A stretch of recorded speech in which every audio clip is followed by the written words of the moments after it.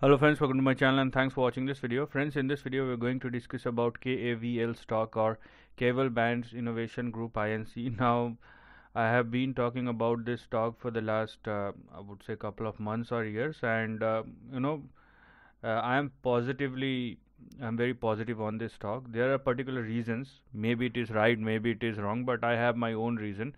If it works out, then fine. If it does not, then you know i'm i'm nobody to talk about uh, you know what you are going to do. It is up to you. I'm just sharing my views and opinion. Now if you are looking at this uh, particular stock as i have told multiple times i am more focused on trend rather than a price action.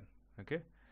So if you are looking at the trend you can see that over a period of time and uh, instead of volatility this stock sustains. And this stock sustained quite beautifully.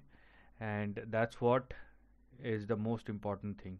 And if it continues to sustain we do have a trend in the long term.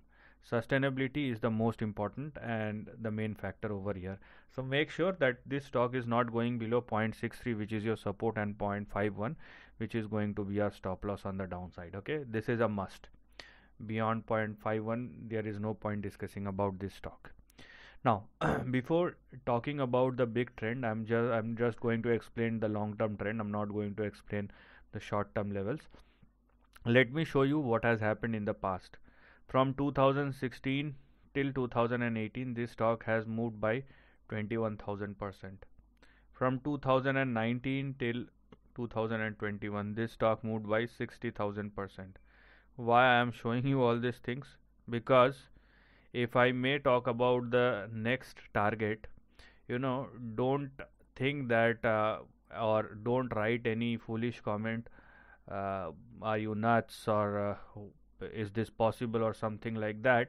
Because uh, when you have the data in front of you and you don't have couple of minutes with you to just watch the data and how the price behaved over a period of time you don't have any right to talk about anything okay? Because you are lazy nothing else. Because all the data is available in front of you and if you are looking at the price action from 2017 till 2021 you can clearly see 1 2 3 4 5 6 7 more than you know 100000 percent kind of returns. So uh, why don't you ask questions uh, when the stock was going higher or when the market participant participated in that? You know uh, so don't write comment or where you don't understand just to satisfy your uh, whatever you have you can call it as your ego. I i'll call it as your sheer foolishness. Anyways talking about the trend as i told you please do not go below these two specific levels on the downside and as far as the big target is concerned even i am very even i i will take conservative opinion what i am going to look at as far as the big target is concerned it will be in between 97 and uh, yeah yeah 350 dollars in the upcoming years or 400 dollars in the upcoming years. So this is what i am going to look at as far as the big targets in the upcoming years. This will take time you know if you ask when will it start? Let the market decide. I am nobody to decide. What i'm basically looking here whether the stock is sustaining above 0.63 or not over a period of time. Because when it start it's not going to give you a time.